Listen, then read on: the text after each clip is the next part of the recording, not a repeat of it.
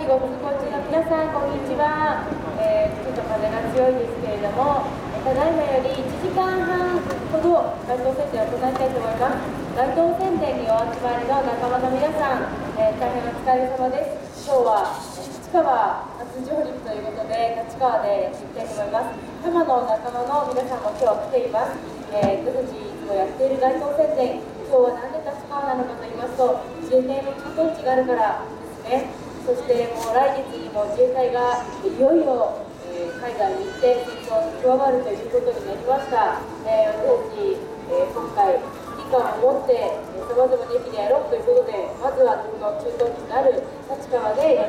ろうと思っています。そしてですね今日は配るものえ今もうお配りしていると思いますけれどもカラーのどうなる日本国憲法というえチラシとあともう一つは署名をやっているのでぜひ署名もよろしくお願いします署名はこのこの沖縄の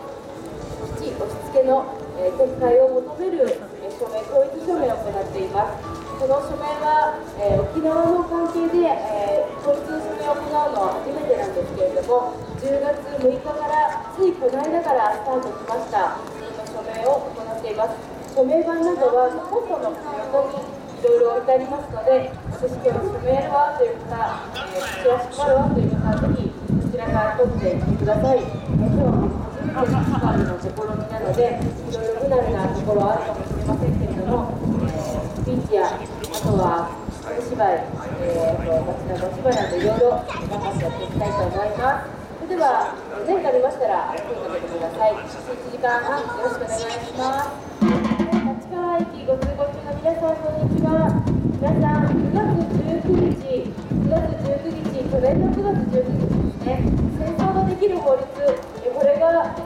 成立してしまいました。そして3月29日、これは今年の3月29日に、この戦争ができる法律が、えー、施行されたんですね。そして今回、とうとう10月下旬にも閣議決定がされて、えー、日本の自衛隊が南スーダンの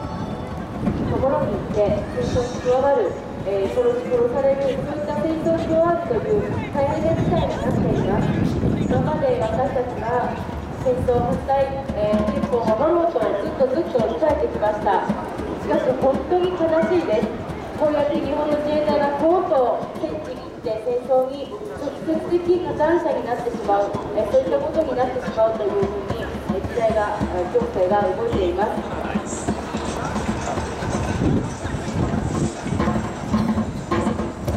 まあ、自衛隊は、え、南スーダンに行くなと言っているんですけれども、今回、南スーダンというところに行くんですけれども、この前テレビでも特集やっていましたが、南スーダンの兵士っていうのは、ほとんどが少年兵なんですよね。えー、少年の、えー、子供の兵士たちが、え銃を持って、戦地に戦っている、そういうところに日本の自衛隊がいて、少年兵を相手に戦う、これは一体どう思いますか？南スーダンという遠いところの話だから別にいいと思いますか？それは実は日本にも私たちここに暮らしているところにも直接被害はないけれどもこれから徐々に徐々に、え、影響が及ぼしてくるんですテロ危ないテロ危ないと言っていますけれどもこういうふうに何もされてない南スーダンにわざわざ出かけていって南スーダンの少年兵を殺そうでもするもんならば逆に恨まれて日本だってテロの対象になりかねないそういったふうにしてテロを誘発することになってしまうんです。テロ対策テロ対策と言っていますけれどもテロ対策の名のもとに私たちの、えー、自由とか、えー、人権とかあと表現の自由そういったものがどんどん奪われていっている。皆さんご存知ですか？南スーダンの自衛隊がもう11月の上旬にも行って本当に戦争に加わる。日本はそこまで来ているんです。今まで戦争反対救助を守ろう。そういったことが今度は戦地に行くな。このぐらい具体的な大変な事態になってきているんです、えー、皆さん全然、えー、あまりピンとこないかもしれない。だけれどもいつの時代も戦争の始まりというのはピンとこないものなんです。戦争が始まるぞというよりはなんだか訳が分からないうちに気づいたら戦争が始まっていた、えー、これは皆さん戦争体験してる人がみんなが同じように口々に言う言葉なんです。あの70年前の第二次世界大戦日本も、えー、大変な戦火に巻き込まれましたけれどもあの時も戦争に関わった人たちは気づいたら戦争になっていた。まさかそんな風になると思わなかった。そういった中で戦争を撃退されてきたんです。今を生きる私たちはほとんどが戦争を知らない子どもたちです。戦争を知らない子どもたちが戦争を知らない大人たちになって今度は戦争をしたがる大人たちになっています。の今、安倍政権というのは、この日本を戦争ができる国に大きく変えようとしている、というか変えてしまったんですよね。もういよいよ具体的に戦争を日本は始めようとしているんです。その自衛官たちが南スーダンに行って少年兵を相手に戦おうとしている、もうこういった具体的なところになっていく、もう戦争反対とかじゃないんです。戦地に行くなという具体的なことに日本は大きく変わろうとしています。私たちはそれを遠くから見ていていいんでしょうか？自衛隊が南スーダンに来て戦う様をテレビで見ていていいんでしょうか？1年間私たちは諦めない戦いをしてきました。戦争をする国づくり反対戦争ができる法律はいらない。そうやって訴えてきました。9月19日この前1年経った国会前で大雨が降る中、集会がありました。1年経っても台風が迫る中、2万人以上の人が国会前に集まり、共に声を上げました。こうしたの戦い、えー、諦めない戦い、これがどうしてこうやって続いてきたのかと言いますと、やっぱりみんな感があるからなんですよね。なんだかこの世の中おかしいな、アベノミクスだ、経済だ、なんだかんだ言ってるけど、全然良くならないじゃないか、経済は全然良くならないし、その上に、戦争ができる法律というものができてしまっていて、来月にももう自衛隊は戦地に行くようになってしまった。今まで間接的な、えー戦争破綻だった日本は今度から直接的な戦争の加担者になってしまうんですこういったことに対して皆さんぼーっと見てるんではなくてぜひ関心を持って自衛隊が戦地に行くのはやっぱりどうした方がいいんじゃないか。今こそ平和憲法憲法9条を守るべきなんじゃないか。そういったことを考えなくてはいけないと思います。国会でも憲法そういった言葉がどんどん出てきてますよね。今もう一度立ち返って憲法って何だろう。本の憲法ってどういうものなんだろうそれを見直す時は来てると思っています。自民党の改憲草案皆さんぜひ見てください。あれ憲法じゃないですよね。私が憲法だと安倍首相が言ってるようなもので憲法というのは私たち市民を守るものなんです。国家権力から市民を守るものなんです。けれどもそれをぶち壊して独裁国家にひた走る。これは、えー、まさにナチスのやり方そっくりだと思いませんか？防衛大臣、稲田朋美さん、女性の大臣ですよね、彼女、子ども手当を打ち切って、子ども手当を防衛費に回したい、そんなこと言うとんでもない人なんですよ、戦争大好き、そんな防衛大臣が今、南スーダンに行って大丈夫ですよなんて言ってるけれども、じゃあ大丈夫なところになんで自衛隊に必要があるんですか、なんでそういうところで戦争に加わる必要があるんでしょうか。体私たち南スーダンの人たちに何をされたんでしょうか？皆さん南スーダンの時ってピンときませんよね。そこに日本の自衛隊がいて戦争に加わると言ってもピンときませんよね。けどそういうところから日本が戦争に巻き込まれていく。私たちの生活がだんだんと恨みを買って大変なことになっていく。昔のようにどこの国とどこの国が戦争しているというはっきりしたことがないんです。戦争の始まりもなければ終わりもない。それが現在の戦争なんです。中で私たちが平和憲法を持ち続けているということはすごいことなんだと。70年間憲法9条という戦争をしてはいけないという憲法を持っていることはすごいことなんだと。そういったことを、えー、もう一つ近いて考えなければならないと思います。今行っている署名は港の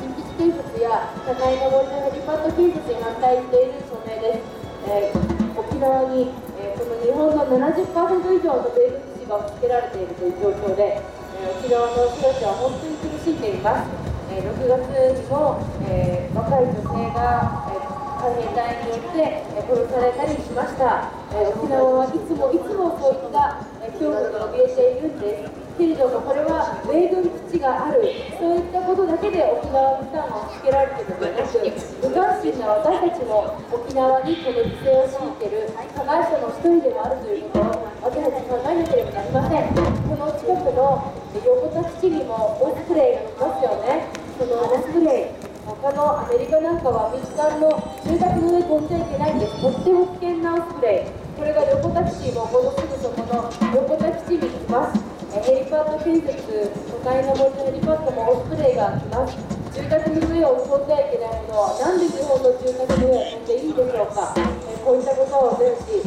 え、少しずつ考えていかないと、気づいた時にはあっという間に国際国家になってしまう、えそういう危機感を持っていかなければならないなと思っています。え、それでは紙芝居をやったりリレートークをして街頭宣伝を行っていこうと思っているんですけれどもまず最初に戦争の作り方という紙芝居をやりたいと思います。この戦争の作り方っていう紙芝居は子供向けの紙芝居なんですけれどもこれあの大きく引き伸ばしてみました。ぜひ短い時間ですので、えー、見ていってください。横の手をつけます。はい、それでは早速始めたいと思います。皆さんどういうふうにしたらこの平和戦争の持つ日本が戦争できるようになるのかピンときます？集団的自衛権とか安保法が強行採決されて日本は戦争できる法律というものを今まさに南スーダンで11月から行使しようとしてるんです。けれどもですがあの実際それで日本が戦争したということになるのかどうかピンとこない人こそぜひ見てほしいと思いますお時間ある方は短いのでぜひ、えー、見ていってくださいあなたは戦争がどういうものか知っていますか？おじいさんやおばあさんから昔のことを聞いたことがあるかもしれません。学校の先生が戦争の話をしてくれたかもしれません。話に聞いたことはなくてもテレビで戦争している国を見たことならあるでしょう。私たちの国は70年近く前に戦争しないと決めました。だからあなたは戦争のために直接には何かをしたことがありません。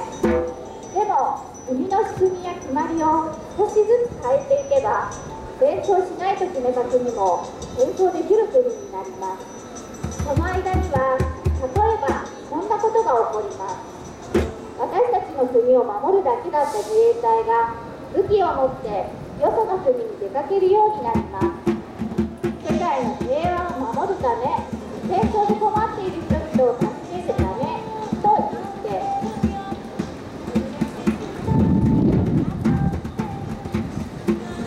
攻められそうだと思ったら先にこっちから攻める。とも言うようになります。戦争のことはほんの何人かの政府の人たちで決めていいという決まりを作ります。他の人には戦争することにしたよと言います。時間がなければ後で政府が戦争するとか戦争するかもしれないと決めるとテレビやラジオや新聞は政府が発表した通りのことを言うようになります政府に都合の悪いことは言わないという決まりも作りますみんなで普段から戦争の時のための練習をしますなんか変だなと思ってもどうしてと聞けません。来るような感じじゃありません。学校ではいい国民は何をしなければならないかを教わります。どんな国やどんな人が悪者かも教わります。街のあちこちにカメラがつけられますいい国民ではない人を見つけるために私たちもお互いを見張りますいい国民ではない人が周りにいないかと誰かのことをいい国民ではない人かもと思ったらおまわりさんに知らせますおまわりさんはいい国民ではないかもしれない人を捕まえます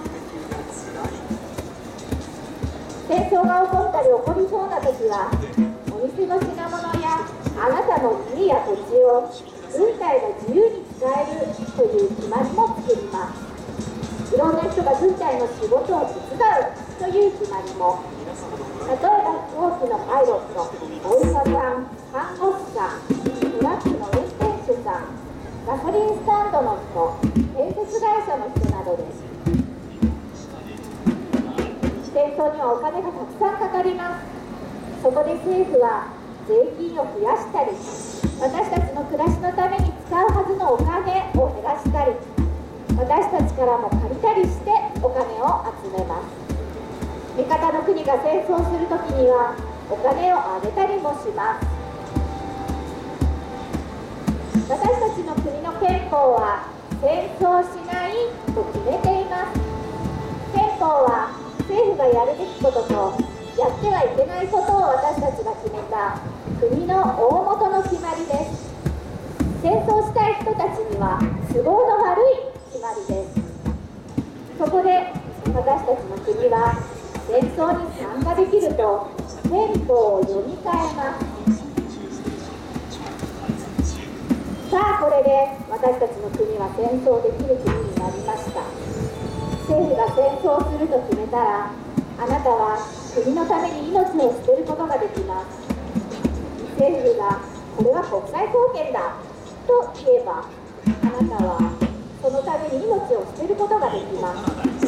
戦争で人を殺すこともできますお父さんやお母さんや学校の友達や先生や近所の人たちが戦争のために死んでも悲しむことはありません政府は褒めてくれます国や国際貢献のためにいいことをしたのですから人の命が世の中で一番大切だと今まで教わってきたのは間違いになりました。一番大切なのは国になったのです。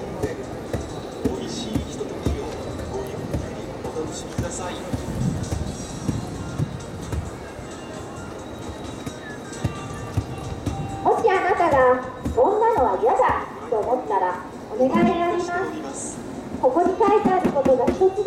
っていると気づいたら大人たちに大変だよ。なんとかしようよと言ってください。大人は忙しい。とか言ってこういうことになかなか気づこうとしませんから。私たちは未来を作り出すことができます。戦争しない方法を選び取ることのおしまいです。聞いてくださった方ありがとうございました。はい。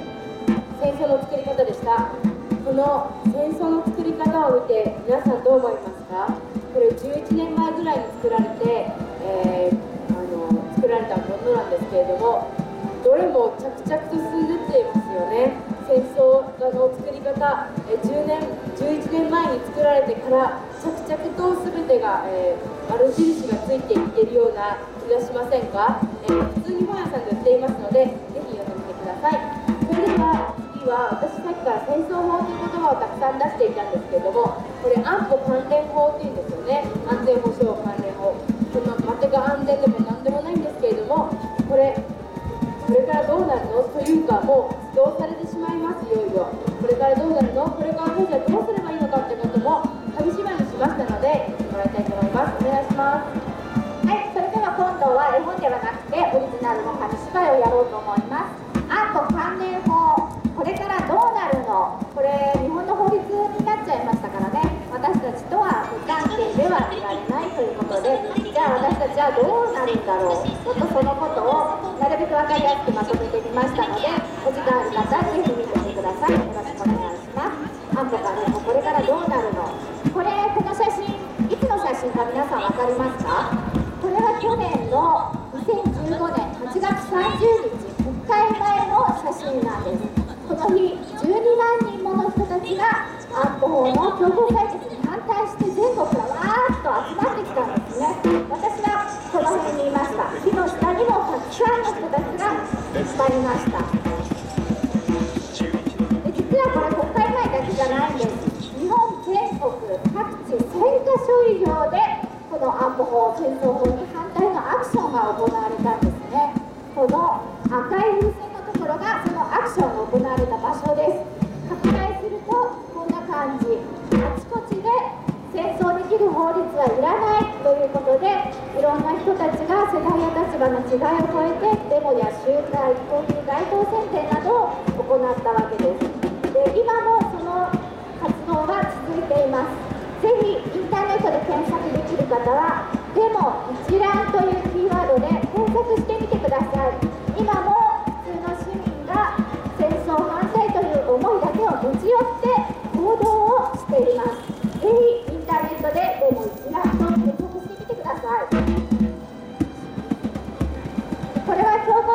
が行われた後の世論調査なんですね。共同通信毎日新聞朝日新聞読売新聞。これどこの調査見ても共同採決は良くなかった。審議や議論も尽くされてないし説明も足りない。いまだに安倍さんは丁寧な説明してないですからね。ですからそういう声が批判的な声が大半なんです。で今安保官安保法の違憲訴訟というのが全国各地で行われている。これさんご存知でしょうか？弁護士さんや法を司る人たちですね。そういう人たちが安保法は憲法違反だということで違憲訴訟というのがあちこちで行われています。こういう状態で共謀採決されて共謀採決自体もこれ無効なんじゃないか。そういう声もかなり大きいです。こんなもみくちゃな状態で採決します。賛成の人してくださいとか手挙げてくださいとかそんな風になってないですよね。共謀採決されたって書かれてないんです後付けで採決っていうふうに付け足されたんですさっき違憲訴訟の話しましたけどそうなんです。日本国憲法第10章第98条でこの憲法は国の最高法規であってその条規に反する法律命令であってその、えー憲法に要するに反する法律を作ったとしてもその効力はないですよ。で憲法で定めてることに違反する法律を作っても有効ではないですよっていうことを憲法は定めてるんです。だから全国でこれは憲法違反なんじゃないかということで裁判が起きているわけです。ぜひ皆さんこの裁判のニュースにも注目してみてください。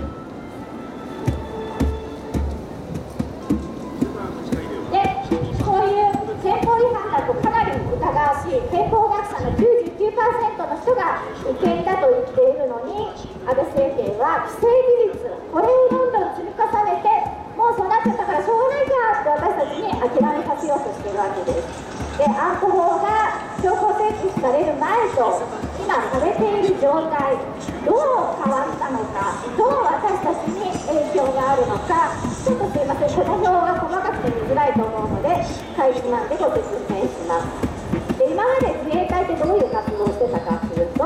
非戦闘地域で活動していることは認められてたんです非戦闘地域っていうのはどういう場所かっていうと戦闘の可能性がない地域ってことですね。でしかもその都度ここは非戦闘地域だから行っていいですかってことで国会で法律を作ってイラク戦争の時もそうですね。承認を得て可変したんです。それが安保法でどうなったか。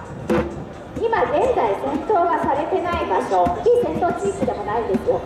もしかしたら近々戦争が行われるかもしれない場所ここに高級法なんで国会を通さず法律もいちいち作ってらんねえってことみたいなんです。でいつでも可変できるということになっちゃいました。今まではまあ国連の平和維持活動これだったら自衛隊参加してもいいかなっていうことで活動してたんですけれども安保法で国連が関わらない活動これにも参加できるように法律にしちゃいました。それから武器ですね。武器はまあ何かあった時のために自衛隊が護身用自分の身を守るために持ってたものが他国軍や民間人の警護駆けつけ警護ですね。も使えるようになっちゃった警護という名のもとに使えるようになってしまったと。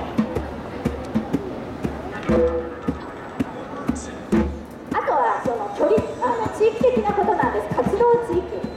日本の周辺で日本を守ってた自衛隊。これが世界中どこでも地域の裏側まで行けるようになってしまったということです。しかも支援の中身が水食料燃料という救援物資を今までは支援してきました。しかしアンコホでできるようになったのは弾薬などの兵器そして兵士などこれら軍事物資も運べるようになってしまったんです。人道支援から軍事支援というこれ大転換戦後71年目にして大転換が実は行われています。で今南スーダンの情勢が、えー、稲田さんが出かけていってまあこの辺なら大丈夫だろうというところで駆けつけ警護させますよって言ってましたけれども実際現地で活動している NPO や NGO の人たちに言わせてみれば戦ってる本人たちも相手が軍服着てなくって政府軍なんだか反政府軍なんだか民兵なんだか民族の争いなんだかなんだかなんだかもう訳がわからない状態になっていると南スーダンはそういう状態で前方も後方もないんですよはっきり言って。そんなところそんな一触即発の状態のところで自衛隊は駆けつけ警護ができるようにしてしまおうと安倍政権も稲田さんも言ってるわけですね。万2000人いる少年兵たちこの子たちは誘拐されたり親が戦争で殺されて行き場がないから食べ物を食べるために仕方なく軍隊に入ってる子どもたちですよ。こういう子どもたちを私たち大人が放置してその子どもたちと自衛隊が開示しなくちゃいけない状況に追い込む。なんて悲劇なんだと私は思います。で今いろいろ言いましたけどすいません。ちょっと戻ってもらって。安保法っていうのは要するにまとめるとこういうことです。自衛隊の活動範囲を広げ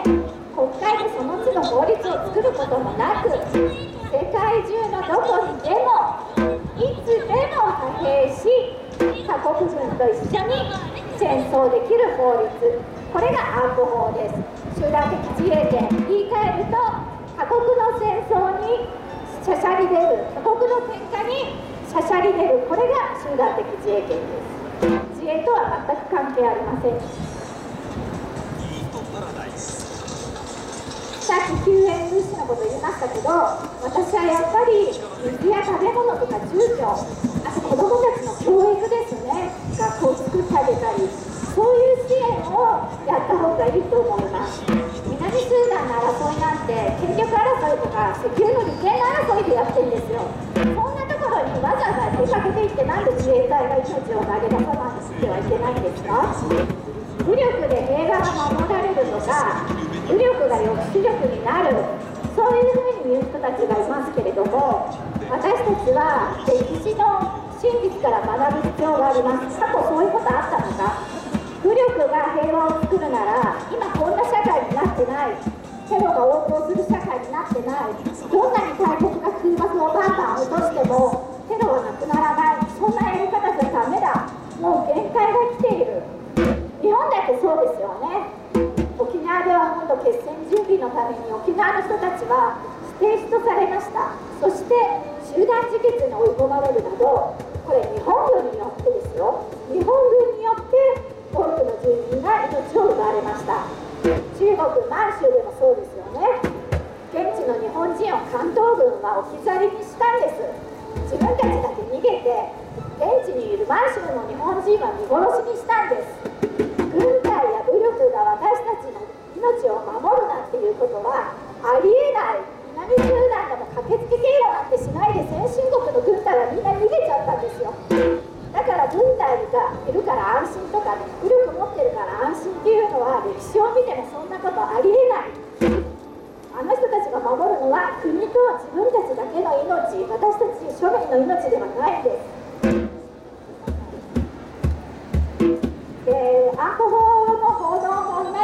んですけどもっと報道が少ないのが防衛装備庁っていうのが設置されたことなんです。これ去年2015年の10月1日にこれは武器を売るためのものです。もちろん私たちの税金ですよ。メイドインジャパンの武器が戦争に使われ世界の人々を殺すことになります。このパレスチナの少女は日本人ジャーナリストに言ったそうです。どうか兵器を売らないでください。その兵器が私たちを殺します日本の人々はいい人たちだと私は信じています。と私たちの良心や行動が問われています。今日本政府は一スラエルと一緒になって無人機を共同開発しようとしています。無人機に爆弾を積んでガザの人たちパレスチナの人たちや世界の人々たちを攻撃す。るようなそんな兵器を日本政府がイスラエルと一緒に開発しようとしています。あまり報道がないですがぜひ皆さんこのこともインターネットで検索してみてください。ご家族ご友人で美味しいひとときをで私たちこうやって街中に出て反対したり国会前に行ってデモをしたりするとそうは言っても民主主義は選挙でしょとあんたたち選挙で負けたんだからしょうがないでしょとこういうこと言ってくる人いるんですねそうなんですかね決められる政治家とか衆議院参議院のねじれが解消されたことで安倍政権は暴走してるんですよ。多数決で、まあ、それでいい人はいいんですけどどうですか？生活皆さんアベノミクス来てますか？1%の人たちですよアベノミクス来てる人は。私は来てません。私たちが払う税金消費税今8%ですよね。そのうち10%に上がるでしょう。選挙があると安倍政権はこれ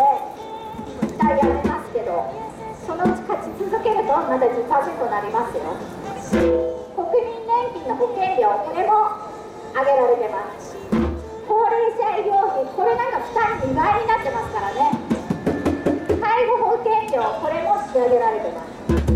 で防衛費と公共事業費にじゃんじゃんつぎ込まれてるわけです。防衛費ね上げられてますどんどん。対する保証これ消費税取ってるの返してくださいよと思いません？これどうなってる？児童扶養手当下げられてます。年金これも下げられてます。しかもミラクルで突っ込んでます。年金。生活保護費これも下げられてます。北海道の人たちの灯油代をカットするなんていうねこういう非人道的な生活保護を受けてる人たちのそういう非人道的なことを平気で安倍政権やってます。介護報酬就学援助いろんなものが減額されています。私たちの手元に戻ってくるはずのお金もどんどん減らされています。で法人税っていうのこれだけが優遇されてるんです。法人税はあんまり取らないよ。企業からもあんまり取らないよ。その代わり個人からはじゃんじゃん取るよ。庶民から絞り取る政策を安倍政権がしてるわけですでさっき選挙のことちょっと話しましたけどこれちょっと情報古いんですけどまあでも2015年も似たようなもんであんたたち負けてんだから文句言うなよって人いるんですよね選挙で。ちょっと待ってください。自民党と公明党が取った票。2653万票。それ以外の野党が取った票。3309万票。なんで野党の方がいっぱい支持されてるじゃないか。いっぱい票取ってるんですよ。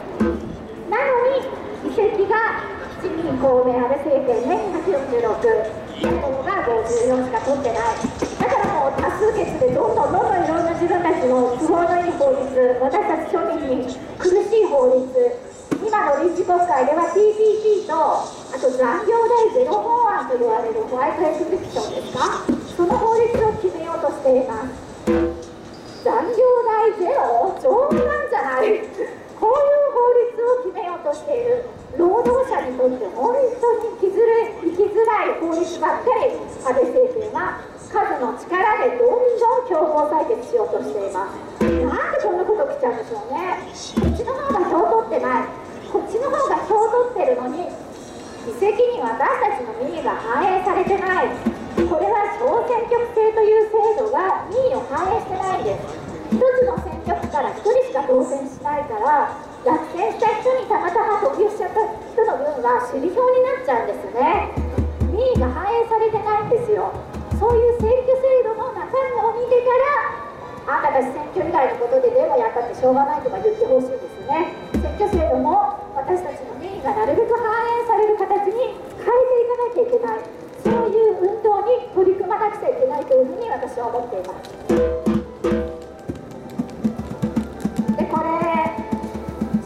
選の中で自民党がどれぐらい票を取ったかっていうグラフなんですよ。小選挙区で約25%比例代表でも16%しか取ってません。その他の党に入れたのがこれぐらいですね。自民党の支持者なんてこれしかいないんです。その人たちは議席数の力で暴走している。だけどここが一番多いですよね。ここなんでしょう。青いところ。これが投票してない人。選挙に行ってない人。この人たちがもしこっちに入れたら一回民主党の時そうなりましたよね。もしこっちに入れたら日本の未来は変わります。戦争したがる議員には入れない。みんながそう思えば残業代ゼロ法案とか消費税バンバン上げて労働者を苦しめるような安倍政権はもう嫌だ。安倍のミックスなんて聞けないっていうふうにみんなが気づいてこっちに投票すれば私たちの未来は変わります。だから選挙に行ってください。よろしくお願いします。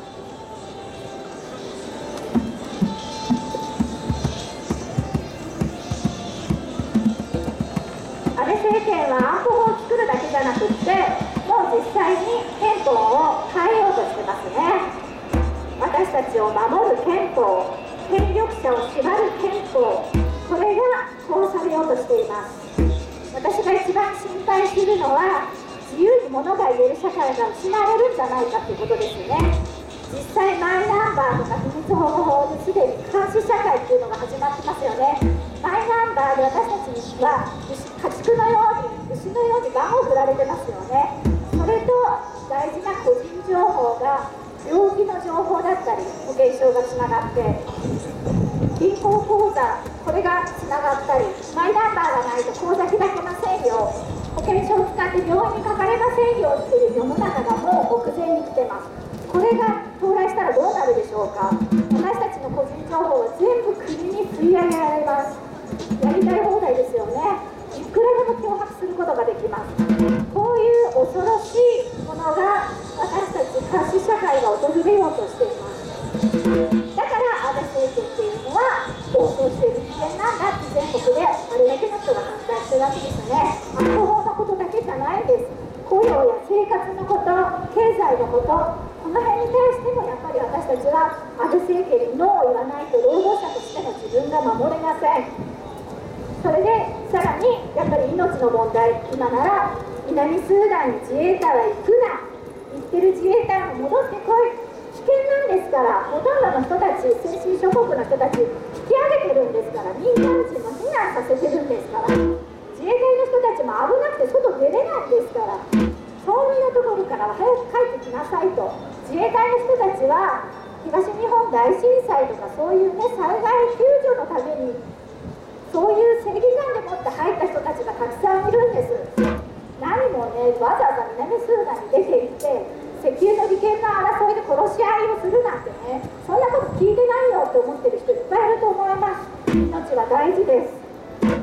今ならまだ戦争反対と言っても逮捕はされません。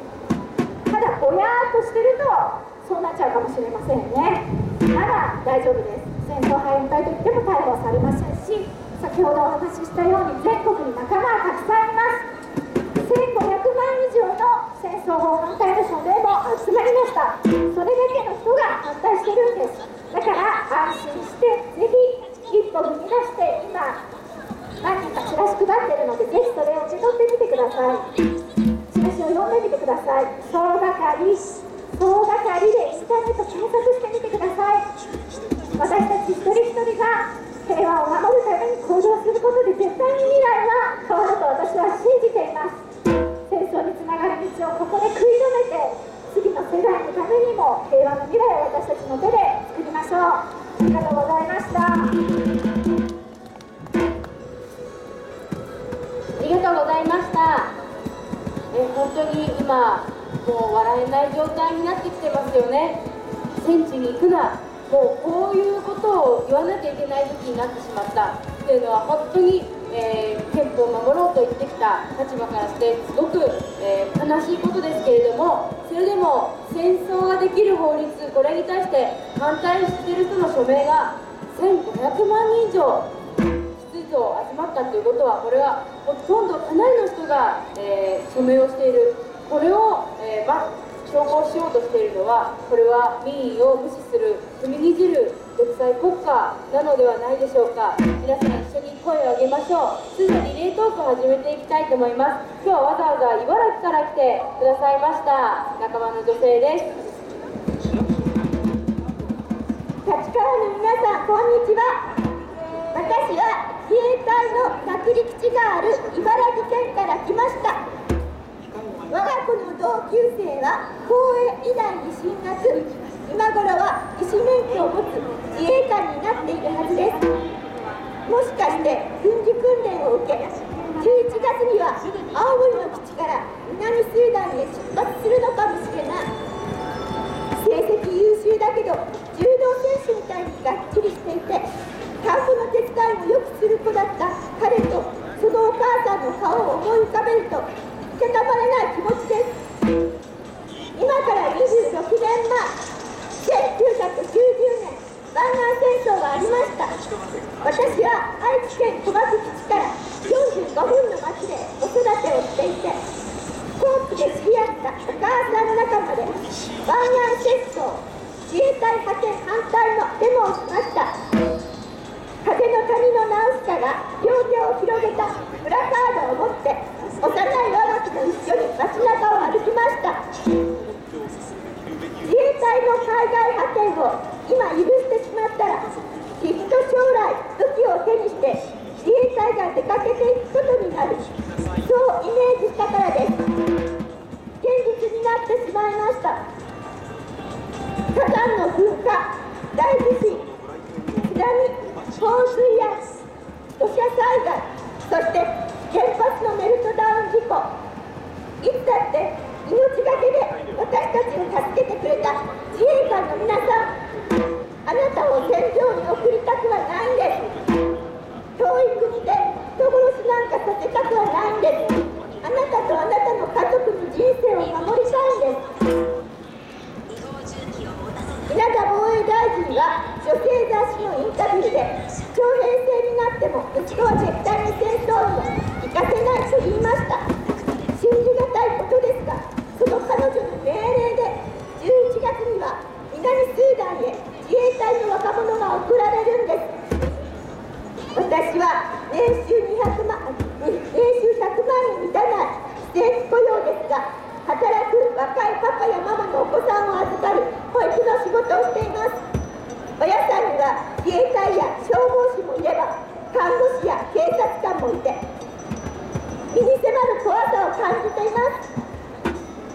だって自衛隊だけじゃないんですもん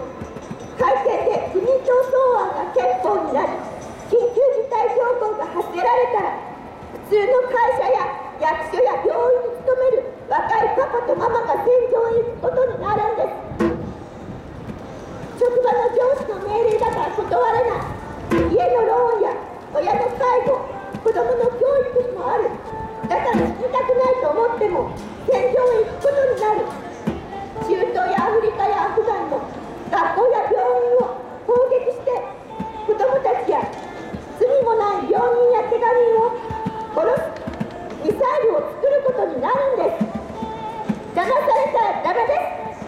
す今日本は核兵器や軍艦を作ることも戦場へ行って人を殺すことも当たり前のことなんだと学校で教える国になろうとしています。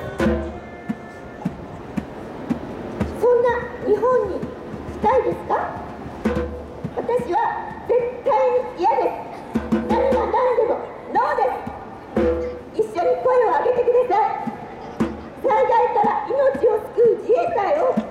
遠い国へ行って戦場で人の命を奪う自衛隊にしたくはないんです。よろしくお願いします。ありがとうございました。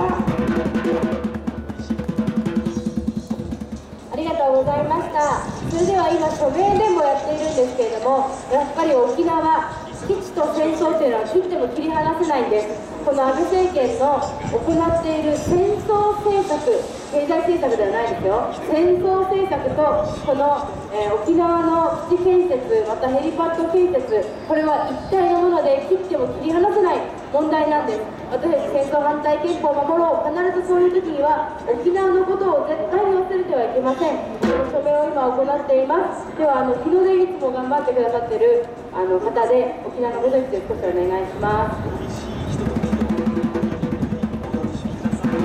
こんにちは、えー、立川駅とご通行中の皆さん、えー少し、えー耳を傾けてください、えー沖縄のことについて23あお話をしたいと思います、えー実はあ日本の本土のメディアは沖縄が今どうなっているかということについてきちんと正確に報道していないために、えー多くのことがわからないまま闇の中で安倍政権の強権的なあやり方でことが進んでいるということが言えると思います。今例えば一応この2つ申し上げたいと思うんですがあ高江で何が起こっているのかということについてどれだけのことが本土にいる私たちを含めて、えー知っているでしょうか。7月11日、7月10日は参議院選挙がありました。沖縄選挙区では、あー木原洋一さんが現職の島尻愛子、沖縄国交の大臣ですが、彼女を10万票余りの差をつけて、えーえー当選しました。そのその会合が終わるか終わらないかのうちから政府は警察権力を通じて沖縄の高いにおける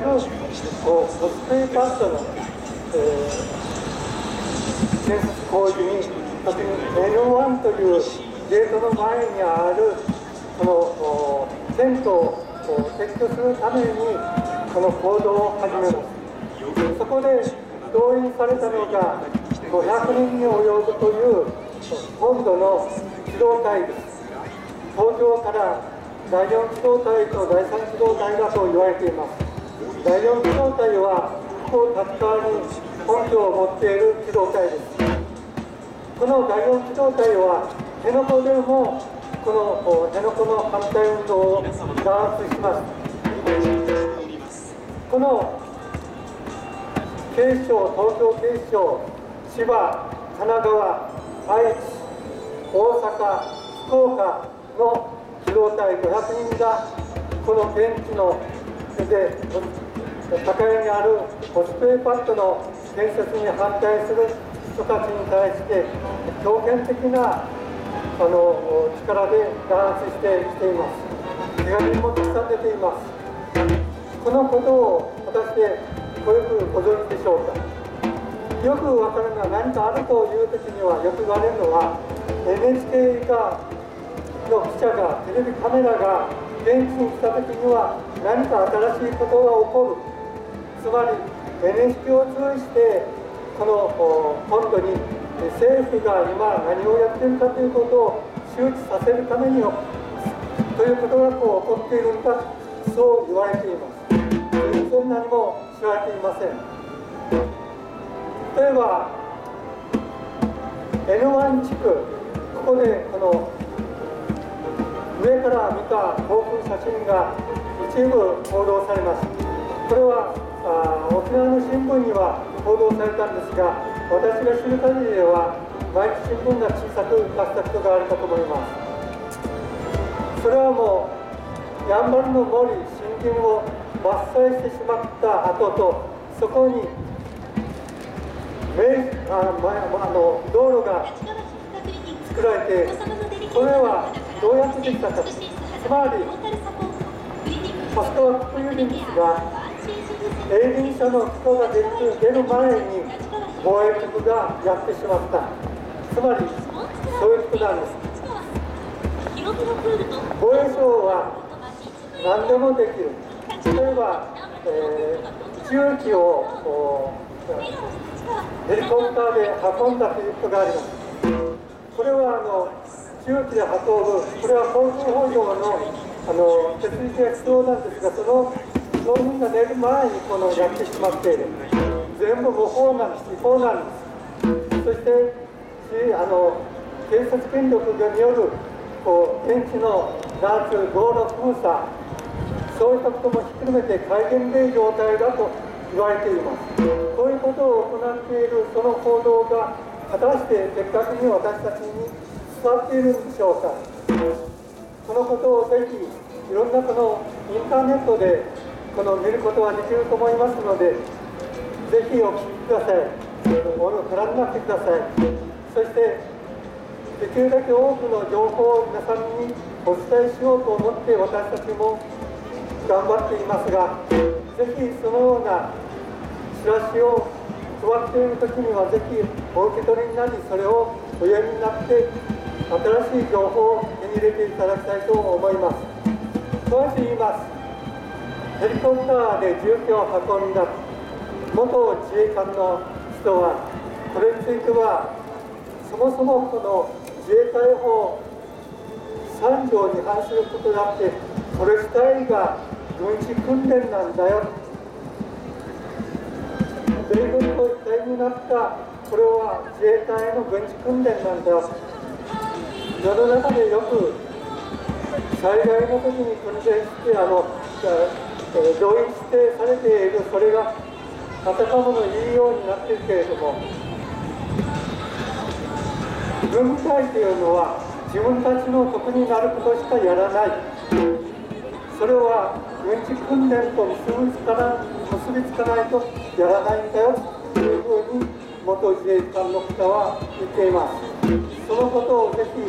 心に込めていただきたいと思います2番目は辺野古の辺野古の辺野古についてです辺野古については現在は具体的なあ工事は進んでませんが水面下で、えー、先だって、えー、福岡高裁那覇支部の判決が出て小長さんが負けるという判決が出ますこれは政府と裁判所とが一体となって作った判決です。いろいろ大きな問題がありますがで一つを言っておきたいのはこの判決がそのまま確定してしまえば日本の民主主義地方自治が完全に根底から覆されてしまうということなんです地方の言うことは何ら意味はない国の言うこと防衛外交ということについては国の戦艦地方であるから地方が不合文句を言うなというようなそういう言い回しですがしかし地方にいる私たちは正直はまさに自分たちが生きているこの現場において私たちの生命財産というものを守っていくために一番必要な人なんです沖縄県がこの辺野古に新しい基地が作られるこれは決して天間からの移設ではない真実な判決の中では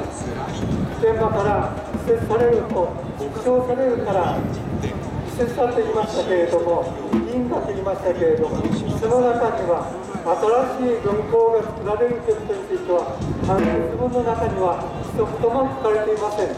新しい基地だということは何も書いてない。んですその前これについて沖縄県は上告しましたが私たちは最高裁判所に対して沖縄県の上告を肉体に感じて却下するような人は棄却するような人はするんだという声を絶対に大きく上げていかなければならないと思います今沖縄県の県民会議とゼロ系の新基地建設に反対し埋め立てを許さない国会行動と総がかり行動実行委員会と3者で呼びかけた新しい基地を作るなという署名を行っていますぜひこの署名にご協力くださいよろしくお願いしますありがとうございました、えぜひあの沖縄今日高い文字だという女性も、え偶然通りかかってくださっていてやはり高いの問題辺野古の問題っていうのが、えだんだんと浸透してきた。でもまだまだなんです、東京でもやれることはたくさんあります。栄とか沖縄の辺野古の基地建設これ反対することはできなくても東京でもできることぜひ署名のご協力をよろしくお願いします。それではあの仲間の歌をお願いしたいと思います。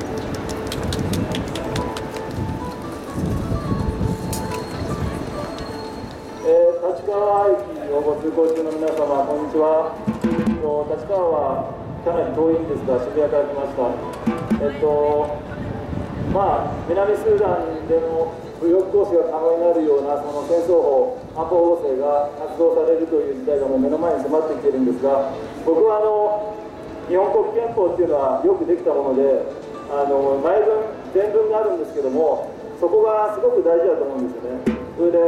そこには、まあ、いろいろ長いことが書いてあるんですけども、全世界の国民がというふうに書かれている部分があるんですよね。我らは全世界の国民が等しく恐怖と欠乏から招かれ、平和のうちに生存する権利を有することを確認すると書いてあります。で、これを、まあ、専門的に言えば、平和的生存権と平和的生存権と言います。つまり、あの我々が、まあ、私たちが殺されない権利が書かれているだけではなくて、我々自身、私たち自身が殺さない権利も書かれているのが、この憲法前文なんですね。でつまり自分たちが加害者にならない権利が書かれているです。で、まあ、皆さんがいろいろ、例えば僕だったらコンサート行きたいなとか、あのなんかスポーツしたいなって時でも、やっぱりその、戦争状態であるとかその戦争がある世の中では一切それができないそういう条件がなくなるわけですよね。でも皆さんがこうやって今歩いて、まああのまあ、みんなでショッピングしたりとか、まあ、趣味に興じていられるのもやっぱりその平和的生存生存権が守られてるからということがあるんだと思います。で僕はあのまあ、あのいろんなこうイラク戦争のあの時代が結構僕の若い頃があってあの20代の頃なんですけどもあの例えばイラク戦争ではあの米軍とかは何も罪がなくてもそこに住んでいるだけで住民を強奪して連行してで強制収容所に連れて行ったりしました。で多くのジャーナリストも数日間連行されて同時にも連れて行かれたと言っています。しかし米軍の兵士も別に好きで連れて行かれたわけじゃないんだ。つまりそのイラク戦争に好きで参加したわけじゃないんですっていうことをある米兵が語っていました。つまりイラクに来たのはあの、まあ、騙されたというか自分たちは本当にその平和を、まあ、あのに貢献するというかその戦争をこう解決するために来たと思っているそれで参加したのかもしれないけれども実際現地で起きてるってことはその自分たちがこう思い描いているものとは全然違うんですよね。現地で起きてるっていうのはあの普通のいい人々が戦争で人を殺す。そして戦争だから何を言ってもやってもいいわけじゃなくて戦争にも一応国際法っていうルールがあるんですよね。でも民間だから民間人を不当に虐待とか陵虐することは国際法上許されてないんですけども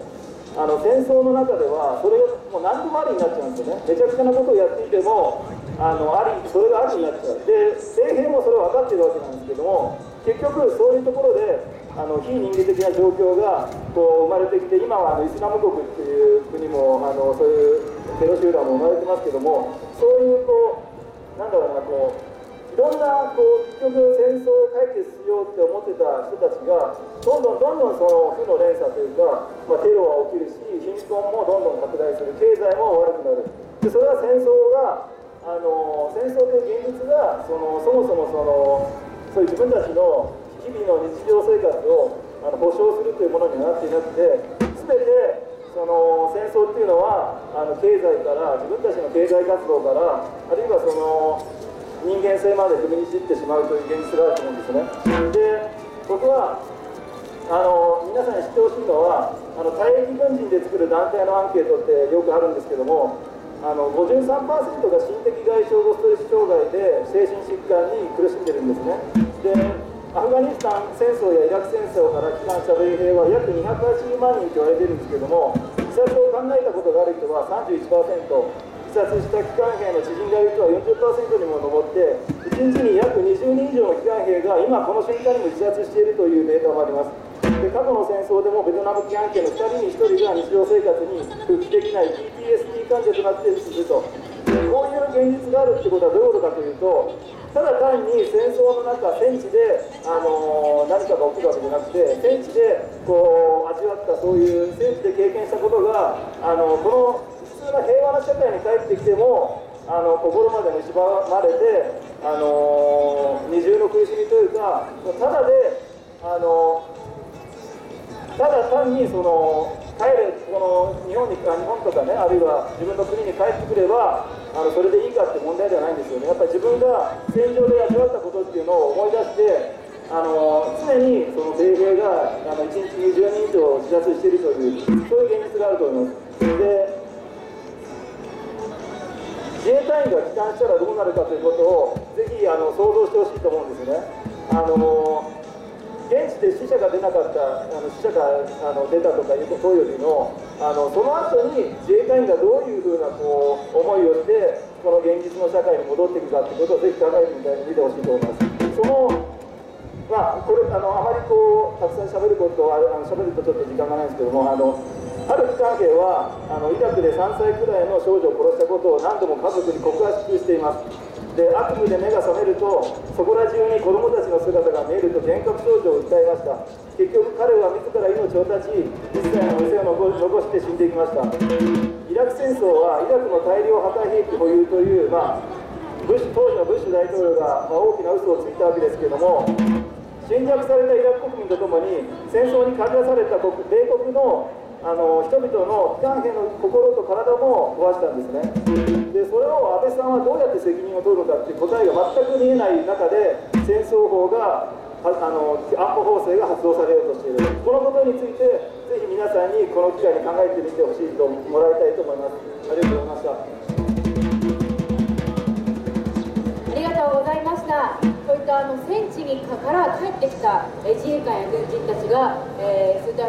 トラウマでたくさん自殺しているというのも皆さんあのご存知ですか？これも立派な戦死だと思っています。日本もそうですよね。かつての戦争の時に戦地から帰ってきて何とも人を殺してしまう。そういった夢を見て自殺した人たくさんいるんです。私のひいおじいちゃんも戦地から帰ってきてから、えー軍の機密を漏らしたということで散々責め立てられて自殺をしてしまったんです。私これ最近知ったんですけれども私の家族のひいおじいちゃんもそういうふうにして独裁国家そうしたあの国の犠牲になったんだということをこれずっと家族が秘密にしていたことを私は最近知りました。こういったことが多分たくさん数知れずあるんだろうな。これをまた繰り返すのかこういった思いをさせるのか家族に辛い思いをさせるのかそういったことを考えなければならないと思います。それでは続きまして今度本当に憲法ってどうなのよということで分かりやすく街中お芝居という形で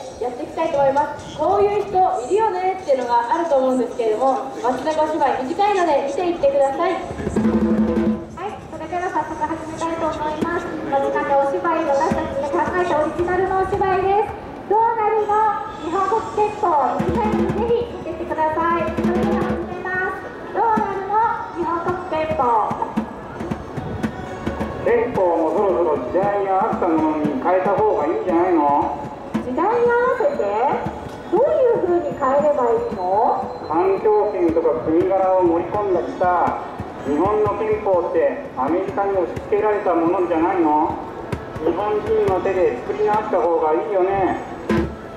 憲法は日本の学者の案をもとに作られたんだそして憲法9条は重原首相の提案を取り入れたもので9条以外も日本の国会で審議をして修正や変更が加えられているんだ。一方的にアメリカに押し付けられたというわけではないんだよ。へえそうなんだ。知らなかった。環境権に関しては憲法13条の幸福追求権に含まれているし憲法は権力を縛るものだから伝統を見るようなものじゃない。心や行動を縛るようなことを憲法に入れるのはそもそもおかしなことなんだ。そうか私は日本の伝統は好きだしまあ愛国心も普通にあると思うけどそれって自然に心の中から湧いてくるものであって憲法で強制するってはなんか違う気がするじゃあ別に憲法を変えなくても問題はないのかな？うん。日本の憲法は世界的に見てもかなりよくできた憲法だと海外の研究者たちにも言われてるからね。でも震災のことを考えたら緊急事態情報は憲法に入れた方が安心なんじゃない？この間の熊本地震の時のことを知ってる？え知らない何のこと熊本地震では被災した人たちは余震が怖いから屋外に避難していたんだけど政府はそれを無理やり屋外に戻そうとしたんだ。えなんでそんなことしたの？政府は避難所をちゃんと準備していないなこと避難されるのが嫌だったんじゃないかな。被災した人たちの気持ちより自分たちの対面なの？だから熊本県知事は現場の気持ちが分かっていないと政府に怒ったんだ。震災対策は国よりも地元自治体の方が適切に対応できる。そのための法律はすでにあるから憲法に書き込む必要はないんだよ。むしろ緊急事態情報を憲法に入れた。らそれを口実に政府は人権や表現言論行動の自由などを制限できる選挙も行われなくなってしまう可能性があるんだ。え自由や人権の制限選挙もしないってことは今の政権がずっと続くってこと？緊急事態情報ってそういうものなの？なんか怖うん権力の暴走を招く恐れがあると思うまあ災害対策も法律で対応できるならわざわざ憲法に書く必要はないか。でもなんで安倍政権は憲法を変えたがっているんだろう。安倍政権は今の憲法を変えて日本が海外で紛争できるようにしたいからみんなが戦争に反対できないように表現の自由や人権を制限しようとしている。自民党の改憲法案を見ればそのことがよくわかるよ。えー、そうなんだ。戦争なんてしたくないのに。でも改憲派の議員が国会の議席の3分の2を取ったから憲法改憲の議論が始められるんだよね。条件としては一応ね。改憲が順といってもどこをどう変えるかは人によって全然違うけど。でもまあ国民投票で民意を反映するからおかしなことにはならないよね。実はあのドイツのヒトラー政権ナチス政権もなんと国民投票を利用してファシズムを進めたんだ。えそうなの？あと2003年のイラク戦争の時も大量破壊兵器があるというデマに乗せられて多くの人がイラク戦争を支持したんだけどその結果さらに世界中に争いの種がまかれることになってしまった。そうか大多数が賛成しているからといって正しいこととは限らないのか。そうテレビ CM や広告などの宣伝で雰囲気に乗せられて多くの人が正しい判断ができなくなってしまう恐れがあるんだ。こうなると国民投票も危険な気がするな他にも最低投票率が決まっていないとか公務員が投票問題に関わると罰せられるとか国民投票にはいろいろ問題があるんだどうしたって宣伝力や組織力がある方が有利になるだろうしな。それって不公平だよね。いろいろ考えてみたけど今わざわざ憲法を変えなくてもいい気がする。法律で今の選考で採用できてるみたいだから変えなくていいね。ね。え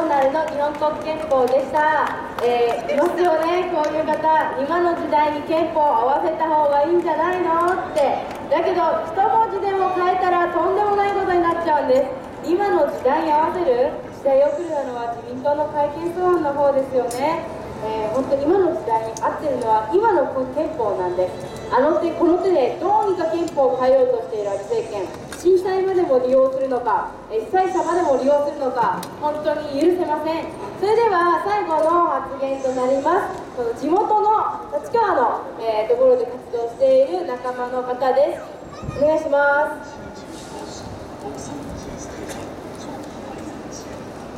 立川自衛隊監視テント村の大洞と申します、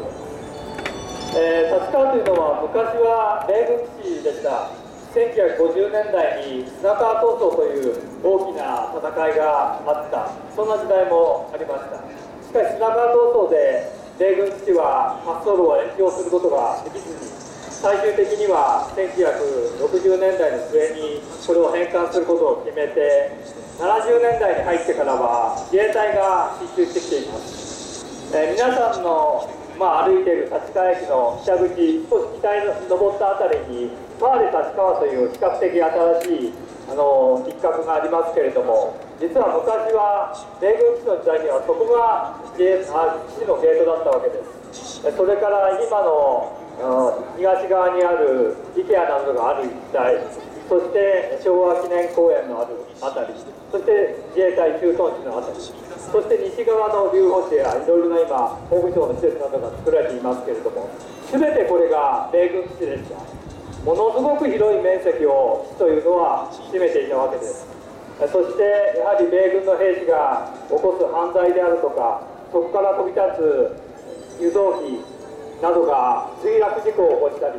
あるいは航空燃料が地下に染み込んで昔1950年代ぐらいまではまだ井戸水などを使っていますからそれで多くの住民が迷惑を被ったひどい例では井戸水に混入した航空燃料が何かの火が引火して火災を起こしたまたま中の井戸を調べていた人が焼け死んだ。こんなひどい事故も起きています。今の沖縄の基地問題は実は日本本土全体に広がっていた時代があったわけです。その今米軍基地はどんどん本土の方では縮小されていったわけですけれども沖縄では相変わらず基地が残ってしまっていてそしてまた新たな基地建設が開始されようというようなそんな状況になっています。沖縄の基地の問題は決して一言ではありません。私たち自身の問題として捉えて今もまだ残っている立川駐屯地という基地そしてさらにその西側にある米軍の横田飛行場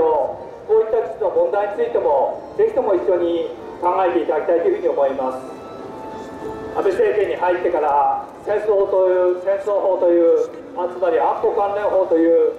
新たな法律が作られてしまいました。明らかにこれは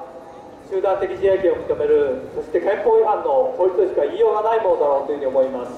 本来ならばまず憲法を変えて集団的自衛権を人々がもち認めるのかどうかそういった手続きを経てからこういう法案を出すべきだっただろうというふうに思いますけれども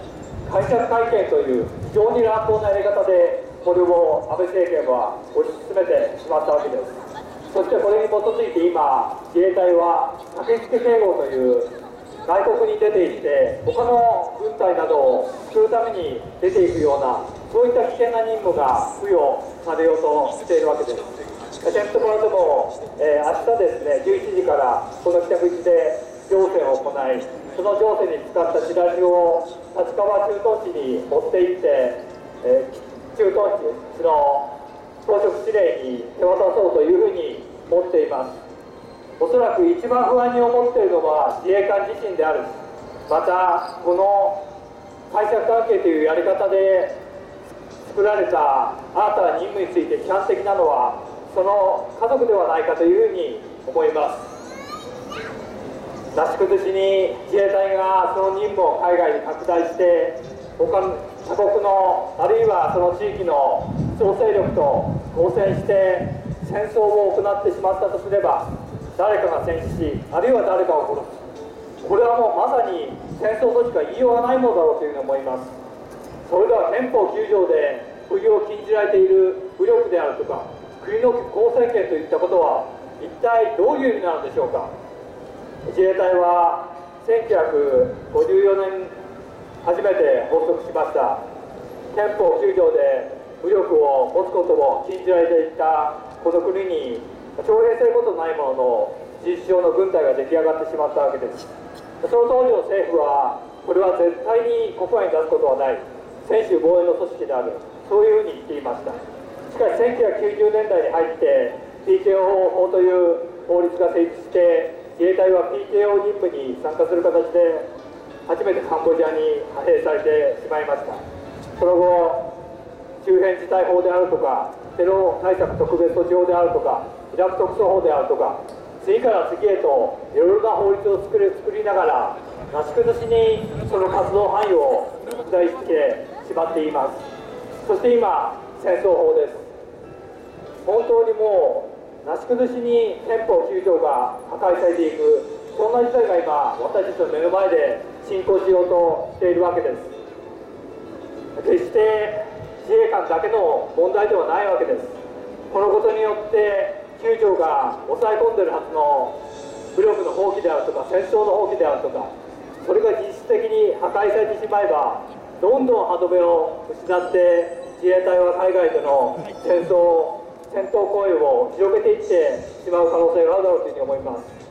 こういった流れの中で武器輸出の緩和三原則を根本的に見直して武器を大っぴらに外に売ろうというようなそんな動きも今進行している。そんな今状態だということもぜひとも立川駅北口今ご通ご中の皆さんも一緒に考えていただきたいというふうに思います今駅長で署名活動そしてこの憲法日本国憲法を考えるチラシも一緒に配っています。ぜひ手に取って憲法とは私たちの生活にどんな関係があるのかそして自衛隊の存在ってどういうものなのかそれが今どんなことをやろうとしているのかそんなこともぜひとも一緒に考えていただきたいというふうに、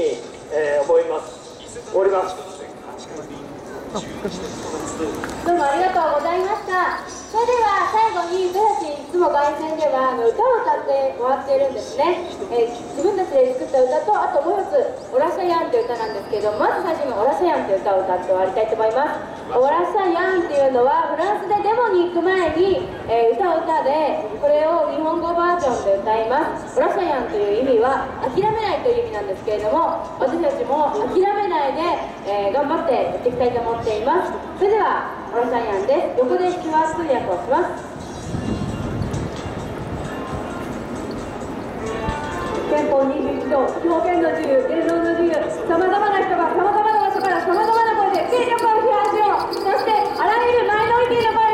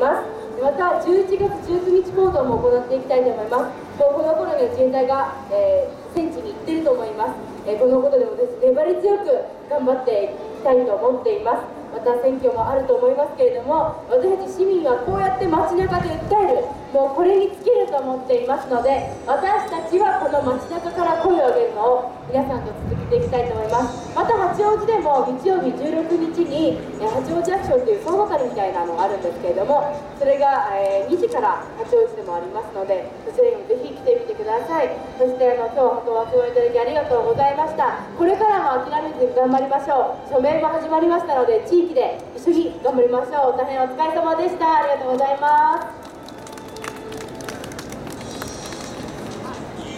署名の数って分かりますか署名の数分かりますか、はい、今日は参加人数は、えー、38名でした。はいお疲れ様でした。11の人気店が彩る美味しいひととき